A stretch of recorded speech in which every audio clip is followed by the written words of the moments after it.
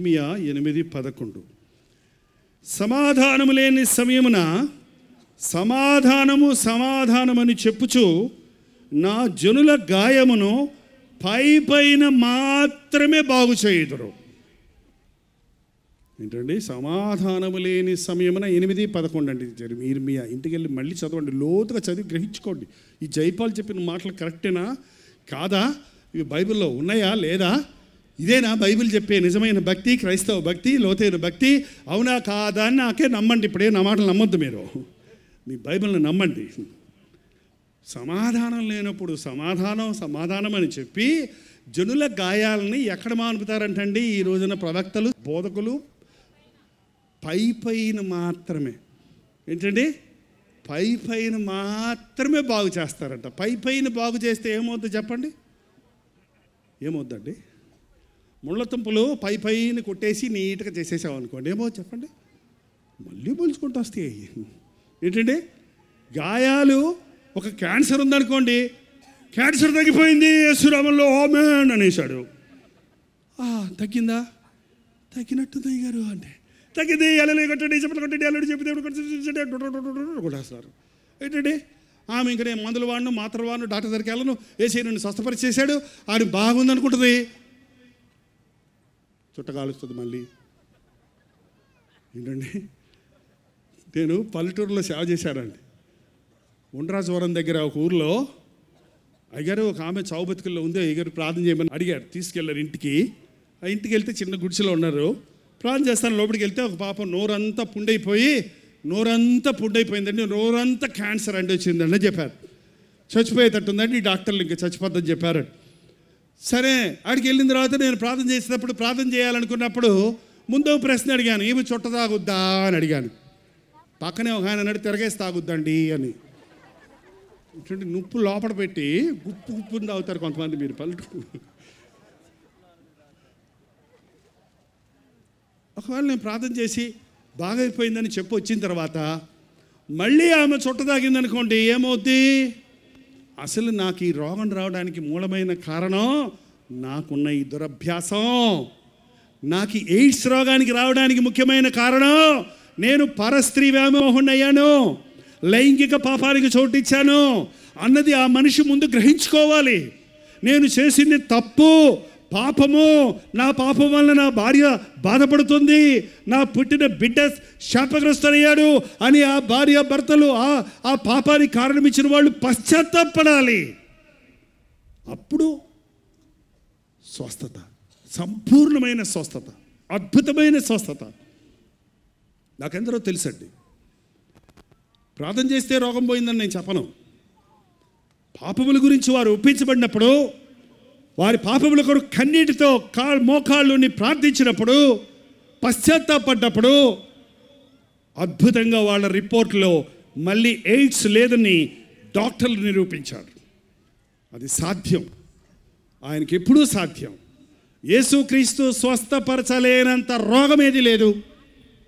ఇంకొకటి మీరు గమనించండి. యేసు ప్రభు ఒకసారి స్వస్థపరిస్తే అది ఎన్నటన్నటికీ స్వస్థత. పాస్టర్ గారులు స్వస్థపరిస్తే అది మళ్ళీ మళ్ళీ వస్తూనే ఉంటుంది. తలనొప్పండి పాస్టర్ గారు ప్రార్థన చేయండి. పోయిందా? దగ్గర మళ్ళీ వారం మళ్ళీ రావాలి. బాగా రోగం పోద్ది మళ్ళీ వస్తారు మళ్ళీ మళ్ళీ మళ్ళీ అయ్యే చెప్పులు నడుము నొప్పులు కీళ్ళ నొప్పులు బెడ నొప్పులు తాళ్ళ నొప్పులు. ఏంటండి? ఎందుకండి? పై పై భక్తి ఎందుకు మనకి? పై పై స్వస్థత ఎందుకు? పై పైన గాయాలు మాంటం ఎందుకు? లోతైన భక్తి స్థిరమైన భక్తి వేరుతో పాటు నీ పాపపు బీజాన్ని పీకేయాలి. యేసుక్రీస్తు నిన్ను స్వస్థపరిచినప్పుడు ఆ పాపమునకు ఆ రోగమునకు కారణమైన ఆ వ్యాధి నుండి నిన్ను స్వస్థపరచడానికి మళ్ళీ మునుపెన్నడూ మరెన్నడూ నీవు చూడనటువంటి పరిస్థితిలో నిన్ను ఆయన స్వస్థపరుస్తాడు. అటువంటి స్వస్థత నీకు కావాలా? లేకపోతే రోజు మా యాస్పిరిన్ ట్యాబ్లెట్ వేసుకుంటే క్రోసిన్ ట్యాబ్లెట్ వేసుకుంటే ఇంకేంటంటే మిఠాసిన్ ట్యాబ్లెట్ చేసుకుంటే ఇంకేం సిన్ను? అన్నీ సిన్నులే. క్రోసిన్ను మెటాసిన్ను అనాసిన్ను అన్నీ సిన్ను సిన్ను. సిన్ను వలన వచ్చిన తలనొప్పులకి సిన్ను ట్యాబ్లెట్లు వేసుకుంటే ఆ తాత్కాలికంగా ఐదు నిమిషాలు మాయం అంటారు. అది కూడా అడ్వర్టైజ్మెంట్లోనే. ఏంటంటే మళ్ళీ వేసుకుంటాడు. మళ్ళీ డబ్బా ఎప్పుడు దగ్గర పెట్టుకుంటారు? మాత్రల డబ్బా. యేసుప్రభు భక్తి డబ్బాలో పెట్టుకునే భక్తి కాదు. అప్పుడప్పుడు అడిగి తీసుకొని వాడుకొని మళ్ళీ ఇష్టానుసారంగా బ్రతికేది కాదు. ఒక్కసారి నిన్ను స్వస్థపరిస్తే నీ బ్రతుకంతా గంతులు వేస్తావు. నీ బ్రతుకంతా శాశ్వతమైన దీవెనతో ఉంటావు. నీకున్న శాపము నీకున్న శాపం కొట్టివేయబడినప్పుడు నిన్ను నష్టపరచాలని నీకు కీడు చేయాలని నీ మీదకు పది మంది తిరిగి వస్తేనట వాళ్ళు నీలో ఉన్న ఆశీర్వాదాన్ని చూసి పది మార్గాల్లో పారి పారి పారిపోతారట. కలిసి వచ్చేటప్పుడు అందరు కలిసి పది మంది నీ మీద ఈడి పని చెప్పాలరా అని వచ్చి నీతో దేవుడు ఉండడం చూసినప్పుడు నీ మీద దేవుని ఆశీర్వాదం ఉండడం చూసినప్పుడు నిన్నేమీ చేయలేక వాళ్ళు ఏమవుతారంట పది పది మంది పది మూలలకు పరిగెడతారు. ఎంతమంది ఈ రోజున? యేసుప్రభుని నమ్ముకున్నానంటారు. ఎవరో చేతబడి చేశారండి నాకు. మా ఆయనకి ఎవరో మందు పెట్టారండి. ఇదేం భక్తి అండి? చేతబడి శక్తులు నీ మీద ఎందుకు పనిచేస్తాయి? ఇస్రాయేల్కు విరోధంగా చేయబడిన ఏ చేతబడులు ఏ మంత్రశక్తులు పని చేయవో? నువ్వు నిజంగా యేసుక్రీస్తు నీ హృదయంలో కలిగి ఉంటే సాతాను శక్తులు నీ మీద ప్రభావం చూపించవు. వెయ్యి మంది నీ మీద తిరగబడినా నీకే అపాయమో రాదు. అటువంటి భక్తి కలిగి ఉందామండి. ఎంతకాలం ఈ పై పై భక్తి? ఎంతకాలం బాధ వచ్చినప్పుడు దేవుడా అంటాం బాధ రేఖ నా ఇష్టం వచ్చినట్టు బతుకుతాను దెయ్యమా అంటాం కాదు. నేను బ్రతుకుతే క్రీస్తు కొరకే బ్రతుకుతాను. ఏసయ్య మాటలు విన్నవాడు తన జీవితంలో పరిపూర్ణమైన విడుదల రావాలి. మాటలు వింటున్నారు మీటింగులకు వస్తున్నారు టీవీ కార్యక్రమాల్లో వాక్యాలు వింటున్నారు కానీ లోతుగా వెళ్ళటం లేదు. లోతైన ఆధ్యాత్మిక స్వస్థత పొందడం లేదు. పై పై గాయాలు మాత్రమే. ఏమండి? పై పై గాయాలు మట్టి గోడకు గచ్చిపోతా. ఒక ఆయన పొద్దున్నే ప్రార్థనకి రండి అని అడిగాడు. పొద్దున్నే నేను రానయ్యా నేను పొద్దున్నే దేవునితో మాట్లాడుకునే సమయం అది. అంటే లేదండి అయ్య గారు ఒక్క నిమిషం మా ఇంటి పక్కనే మా- ఇంటి పక్కనే అది కూడా. ఒక్క ఐదు నిమిషాలు వచ్చి వెళ్ళిపోండి కరెక్ట్గా ఏడు గంటలకు వచ్చేయండి అయ్యగారు అన్నాడు. గృహం కట్టుకుంటున్నాం పునాది వేయాలి ఫౌండేషన్ వేస్తున్నాం అన్నాడు. సరే ప్రార్థన చేస్తాను ఎక్కడ చెప్పాయి ఎక్కడ ప్రార్థన చేసి వెళ్ళిపోతాను నేను తొందరగా వెళ్ళాలంటే ఒక నిమిషం ఆగం టైం అవుతుంది ఒక నిమిషం ఆగం టైం అవుతుంది ఒక నిమిషం ఆగం టైం అవుతుంది అంటున్నాడు ఆయన. టైం ఎంత అయితే ఏమయ్యా నేను వచ్చేసారు కదయ్యా ప్రార్థన చేస్తాను కదయ్యా అంటే కాదండి కాదండి ఏడు గంటలకు మంచి కాలం అంట. ఏడు కాలం ఏడు గంటలకు ఏం కాలం? మంచి కాలం. బా మంచి పాస్టర్ గారు వచ్చి మంచి కాలంలో ప్రార్థన చేస్తే మంచి ఇల్లు కట్టుకుంటే మూడు రోజులు కూలిపోద్దంట మరి ఇక్కడ ఇక్కడండి యేసు ప్రభు నమ్మినప్పుడు రాహుకాలము ఆ మూడకాలము శుక్రవారము శనివారము వారాలు చూస్తారు మంత్రాలు చూస్తారు టైములు చూస్తారు చిదులు చూస్తారు నక్షత్రాలు చూస్తారు. ఇది లోతైన భక్తి కాదు. అవ్వ కావాలి? ఏం కావాలి? పువ్వా కావాలి. మా ఇంట్లో కూడా యేసుప్రభు ఉన్నాడు. నా జేబులో కూడా యేసు ఉన్నాడు ఉన్నాడని చెప్పారు మొన్న ఎమ్మెల్యే గారు. అబ్బో జేబులోనే ఉంటారట యేసుప్రభు ఆహా. ఏంటండి? మన దేశ నాయకులందరూ ఓట్ల కోసం మనకి ఏదో ఉపకారం చేస్తారంటే మనం ఐస్ అయిపోయి వాళ్ళ వెంట పడతాం ఎందుకండి? మనకి రాజకీయవేత్తల సహాయం. రారాజైన ప్రభు మనకు ఉండగా ప్రభుత్వం వాళ్ళు ఇచ్చే రాయితీలే మాత్రం మనకి ఆకాశ పక్షుల్ని పోషించే దేవుడు నిన్ను పోషించడా? నిన్ను ఆశీర్వదించిన దేవుడు పిల్ల పిల్ల తరాలకు ఆశీర్దిస్తాడు అన్నవాడు నీ పిల్లలకు కావలసినవి ఆయన అనుగ్రహించడా? ఇస్రాయల్ అందరూ అరణ్యంలో రాలిపోయారండి. విసుక్కొని కుసుక్కొని సణిగి గుణిగి. కానీ కానాను దేశంలోకి వెళ్ళిన వాళ్ళందరూ ఎవరో తెలుసండి?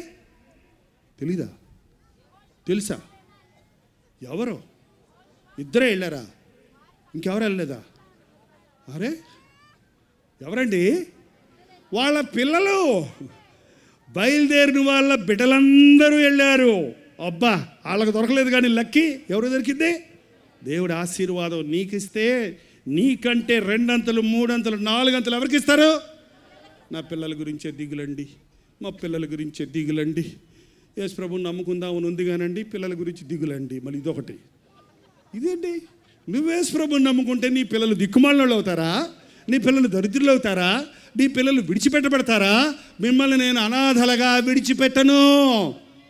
నా ఆదరణకర్తను మీకు నేను ఇస్తాను అన్న యేసు ప్రభు మన పిల్ల పిల్ల తరాలను కూడా దీవించడానికి సమర్థుడిగా ఉన్నాడు. ఆనాడు అబ్రహామును పిలిచినప్పుడు సమస్తం విడిచిపెట్టాడు. తన వంశం ఏమవుద్దో తన బిడ్డలు అని ఆలోచించలేదు. దేవుడు దేనికి శిల్పియో నిర్మాణకుడై ఉన్నాడో ఆ పట్టణం మీద గురిపెట్టుకొని తన ప్రయాణాన్ని సాగించాడు. ఇస్రాయేల్ జనాంగం ఈనాటికి ప్రపంచ పట్టణములో ఆశీర్వదించబడిన జనాంగంగా ఉంది. ఇంత ఉంటుందంటే చిన్న దేశం మీరు చూస్తే మ్యాప్లో. ఆ దేశానికి ప్రపంచమే భయపడుతుంది కారణం ప్రభు వారి పక్షంలో ఉన్నాడు. ఆనాడు అబ్రహాముకు వాగ్దానం చేసిన దేవుడు పిల్ల పిల్ల తరాలకు వారి వంశాన్ని ఆశీర్వదించాడు. ప్రియ సహోదరుడు సహోదరి గుంటూరులో ఉన్న విశ్వాసులారా గుంటూరు మీటింగులకు వచ్చిన నా సహోదర సహోదరిలారా తల్లులారా తండ్రులారా నా బ్రతుకులు నేను ఒకటే నేర్చుకున్నాను.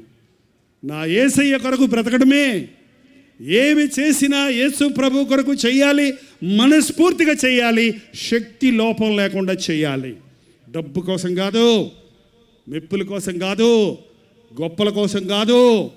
మనుషుల్ని పోగు చేయటం గొప్ప కాదండి. రోడ్డు మీద నిలబడి బుడబొక్కలో డుముడుకు డుముడుకు డుముడుకు అంటే కూడా గుంపులు వచ్చి నిలబడతాయి. ఇందులో గొప్పే ఉంది. గుంపులు వచ్చేస్తున్నారు మా సభలకి వేల మంది వచ్చేస్తున్నారు మా సభలకి. అని నేను సంతోషపడే సంతోషపడనండి నేను. నాకు సంతోషం లేదు అది కాదు. ఎంతమంది స్థిరమైన విశ్వాసాలుగా ఉన్నారు. బలమైన పునాదుల మీద ఉన్నారు. లోతుగా తవ్వుకొని పాప పశ్చాత్తాపాన్ని పొంది ప్రభు ఇచ్చే రక్షణ సంపాదించుకున్నారు. మీరు రక్షించబడ్డారా? అంటే ఏంటని అడిగాడు ఒక ఆయన. ఏంటండి? రక్షించబడ్డారా? అంటే బాప్తీసం పొందామని చెప్తారు. బాప్తీసానికి రక్షణకి సంబంధం లేదు. మీరు మారు మనసు పొంది రక్షించబడండి. బహిరంగంగా పాపక్షమాపణ నిమిత్తం బహిరంగంగా అందరికీ సాక్ష్యం ఇచ్చేది బాప్తీసం. అది బహిరంగమైన నిరూపణ కానీ అంతరంగంలో రక్షణ అనుభవం కావాలి. నీ హృదయాన్ని తవ్వుకొని నీ గుండెల్లో ఉన్న మోసాన్ని అవిధేయతను వేషధారణను లైంగిక పాపాలను లోపల నుండి అనగా హృదయంలో నుండి దురాలోచనలు అని ఒక పెద్ద లిస్ట్ ఉందండి. మార్కు సువార్త ఏడు ఇరవై ఒకటిలో ఆ పాపాలన్నీ ఒప్పుకొని ప్రభువుని నీ హృదయంలోనికి స్వీకరించటమే రక్షించబడటం. నా కోసం మరణించాడు. ఆయన స్థానంలో ఆయన కొరకు జీవిస్తాను అని దేవునితో ఒక నిబంధన చేసుకుని నీ శరీరము నీది కాదు నీవు విలువ పెట్టి కొనబడిన వాడివని నీ దేహముతో దేవుణ్ణి మహిమపరచటము నేర్చుకునటమే నిజమైన రక్షణ అనుభవం. మీరు రక్షించబడ్డారా? మీ పాపములు క్షమించబడ్డాయా? మీరు మరణిస్తే పరలోకానికి వెళ్తారా? ఈ రోజుల్లో చాలామంది పాస్టర్ అన్ని విషయాలు చెప్తారు కానండి చచ్చిపోయిన తర్వాత ఒక జీవితం ఉందయ్యా. అది నరకమో పరలోకమో యేసుక్రీస్తు నామంలో క్షమించబడి రక్షించబడితే తప్ప నిత్యరాజ్యమైన పరలోక రాజ్యంలోనికి వెళ్ళలేవు అని బోధించే బోధకులు చాలా తక్కువ మంది ఉన్నారండి. జాగ్రత్త మోసపోకండి. ఆశీర్వాదాలు కావాలనుకోకండి. నిజమైన ఆశీర్వాదం ఎవని అతిక్రమములు క్షమించబడినో వాడు ధన్యుడు.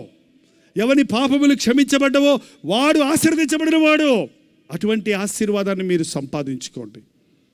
ఈ పై పై భక్తి ఈ చాలి చాలని భక్తి ఈ లోతు లేని భక్తి వలనండి మన జీవితాల్లో ఎప్పుడు చూసినా తత్రబత్ర తత్రబత్రగా ఉన్నామండి. ఇది లోతైన భక్తి కాదు. ఇది స్థిరమైన భక్తి కాదు. కాబట్టి నీవు నీ పక్కవారికి ఆశీర్వాదకరంగా లేవు. నీవు దేవుడు దీవించినప్పుడు విస్తారమైన ఆశీర్వాదాలు ఉంటాయి. లోతైన విశ్వాస జీవితంలోనికి మనం నడవాలని స్థిరమైన క్రైస్తవ భక్తి మనం కలిగి ఉండాలని ఆటుపోటులు ఎన్ని కలిగినా శోధన శ్రమలు ఎన్ని వచ్చినా క్రీస్తు కొరకు నిలబడి వారిగా మరణం వరకు నమ్మకస్తులుగా మనందరం ఉండాలని ప్రభు ఆశిస్తున్నాడు. ఆమెన్. దయచేసి తలలు వంచండి. ప్రార్థన చేసుకుందాం. లోతైన భక్తి నీకు కావాలా? అన్న ఒక్క ప్రశ్నకు సరైన సమాధానం మీరు చెప్పుకోనండి. అవును ప్రభువా.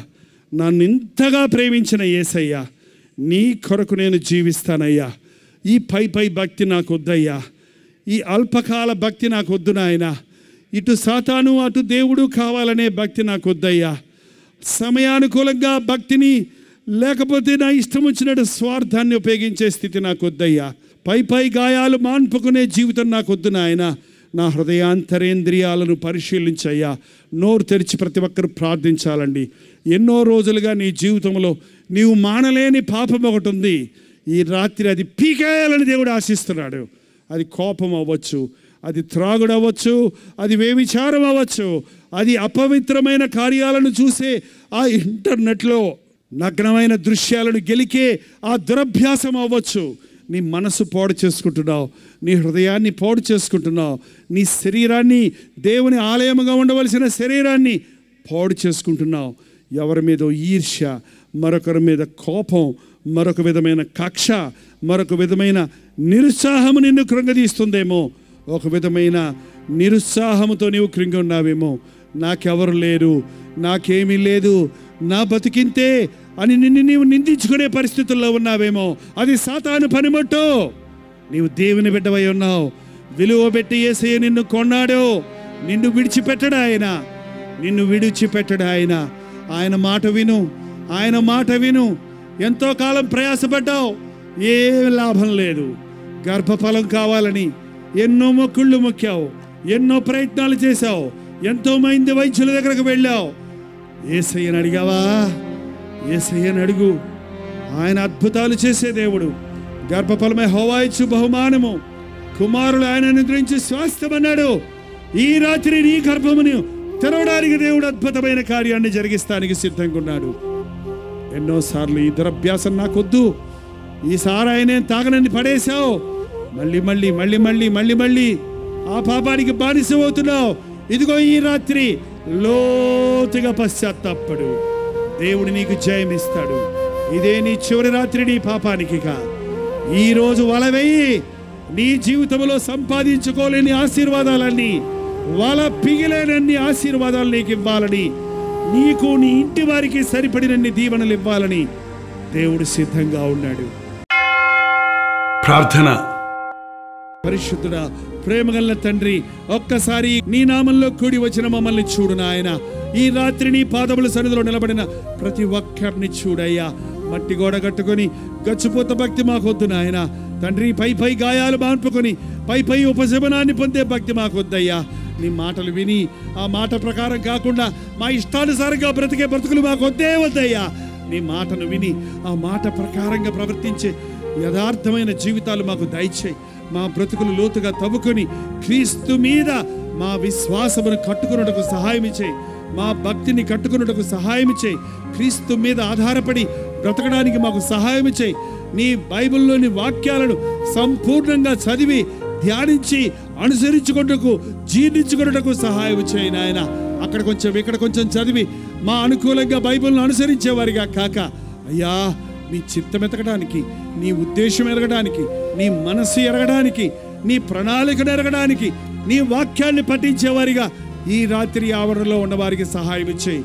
ఎవరెవరికి ఏ అవసరం ఉన్నదో వారిని దర్శించి నీ మాటలు వారి గుండెల్లో నింపుకొని ఇక్కడి నుంచి వెళ్ళడానికి ఆ మాటలు ధ్యానించి ఆ మాటలను గ్రహించి ఆ మాటల ప్రకారంగా లోబడి నీ అద్భుతమైన ఆశ్చర్యమైన కార్యాలు ఒక్కొక్కరి జీవితాల్లో అనుభవించడానికి సహాయం చేయమని యేసు క్రీస్తు నామంలో అడుగుచున్నాము తండ్రి.